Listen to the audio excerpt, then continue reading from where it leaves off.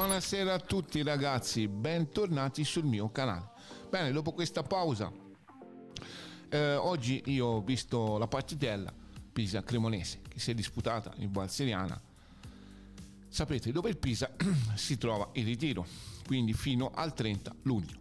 Bene, oggi Mister D'Angelo ha messo in campo Nicolas, Piccinini, Marsura, Emerson, Caraccio, Quaini, Bilindelli, Berra, Sibilli, Gucker, De Vitis. Un bel primo tempo, io direi veramente bello. Bello perché ci siamo divertiti. Almeno io mi sono divertito. Poi insomma, visto durante la diretta, insomma, eh, insomma c'era la possibilità di, di messaggiare, quindi commentare, insomma. Comunque una bella partita. Io mi è piaciuta la coppia, la coppia difensiva Emerson Caracciolo e Bilindelli, ovvio. E poi mi è piaciuto Quaini mi è piaciuto qua poi il solito De Vitis il solito Guker Sibilli bravo bravo Sibilli veramente. E um, il gol um, su assist di Berra poi c'è stata una deviazione anche da parte del difensore cremonese comunque Marzura in sacca di testa e porta in vantaggio i nerazzurri per 1 a 0 nel primo tempo. Ripeto un primo tempo veramente bello bello. Io visto una squadra insomma pronta, ecco, pronta, reattiva, scorreva. Quindi bella, bella veramente. Insomma, nel secondo tempo poi ovviamente ci sono stati i cambi, Mister D'Angelo ha fatto insomma girare, ha fatto girare insomma tutti praticamente, ha messo dentro anche Fish, ha fatto girare tutti e mh, alla fine poi il Bortolami trova, trova il pareggio, bel gol da fuori area, ha tirato una bordata insomma e, ma eh,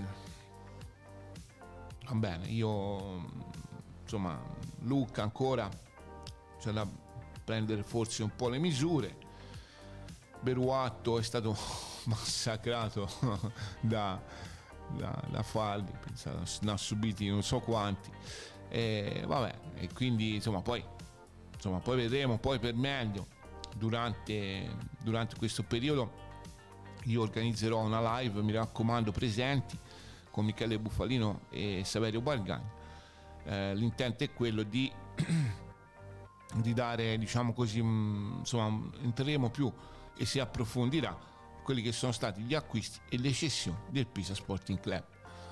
E, ehm, comunque, e, ehm, niente, che dire, il 22 di, di luglio c'è stata una nuova iniezione di capitale da parte dell'H Calcio che è quella che sostanzialmente controlla il Pisa Sporting Club che l'H Calcio è, eh, dipende direttamente da Knaster.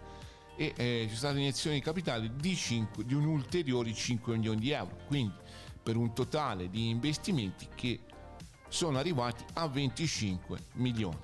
E che non è poco che non è poco.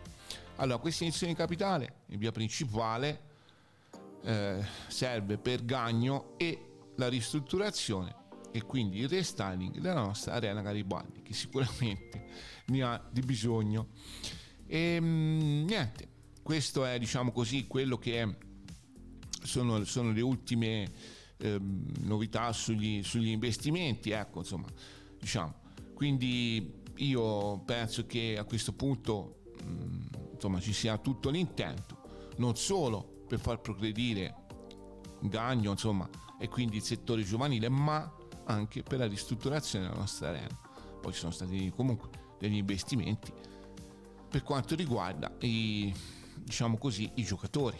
Quindi um, sotto il lavoro di, di Chiellini e, e, e con, con, il supporto ovviamente dei Corrado. Chiaro. Um, niente, quindi va bene così, eh, investimenti insomma ci sono, la volontà c'è, la, qui io penso che insomma alla fine la società è solida come abbiamo sempre detto e penso che comunque insomma con questi, con questi nuovi acquisti io penso che faremo un bel campionato. Magari magari ma lo andremo a vedere in seguito però ecco la butto lì magari una, una punta magari di rilievo in più forse non farebbe male.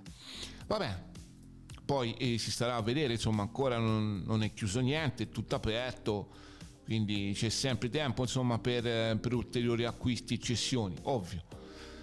ehm, penso che qualcuno mi ha domandato che mio amico ma secondo te Marconi Marconi io penso che oramai sia destinato a altri lidi l'Ascoli si è fatta avanti insomma ce ne sono ma comunque poi staremo a vedere insomma poi magari alla fine la società ma lo terrà non lo terrà non credo però diciamo così poi l'andremo ripeto a valutare meglio con, eh, con l'aiuto di Michele con l'aiuto di Saverio e poi ci sarà ovviamente il mio amico Matteo.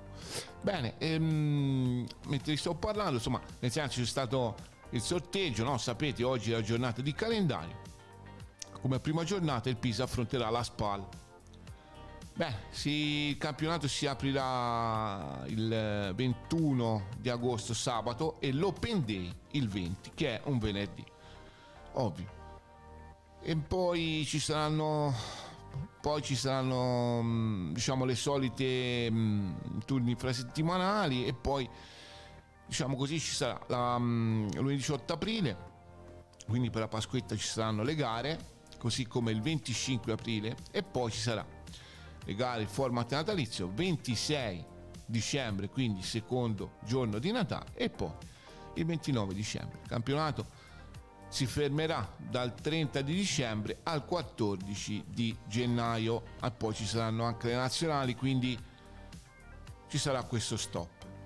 Ehm, non è inutile andare a vedere i turni infrasettimanali eccetera eccetera tanto insomma ecco giusto tanto per darvi un'idea di quello che sarà il calendario e quelle che saranno le partite comunque più o meno il format rispecchia quello dell'anno scorso e anni precedenti insomma ecco bene Ehm, detto questo, io direi che mm, per ora abbiamo detto tutto. Insomma, ecco, la partitella l'abbiamo analizzata, abbiamo visto gli ulteriori investimenti, mm, diciamo così, da parte di, di Cluster, quindi dell'H Calcio.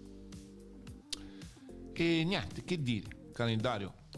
Allora, la prima che si giocherà il, il 21 agosto, noi affronteremo la SPAD in casa ancora non sappiamo, ma io non credo che ci siano abbonamenti, non credo proprio, perché è proprio un discorso numerico. Quindi dovremo andare anche lì sempre a biglietti, ma bah, vabbè, non lo so, comunque. Eh, sì, io andrò allo stadio sicuramente, però cioè, ci, voleva, ci voleva secondo me una riapertura, una riapertura più sostanziosa, magari con tamponi, ovviamente chi c'è il Green Pass, eccetera, eccetera, però insomma ecco. Magari non so mascherine mascherine insomma comprese però ecco magari ci voleva forse una riapertura.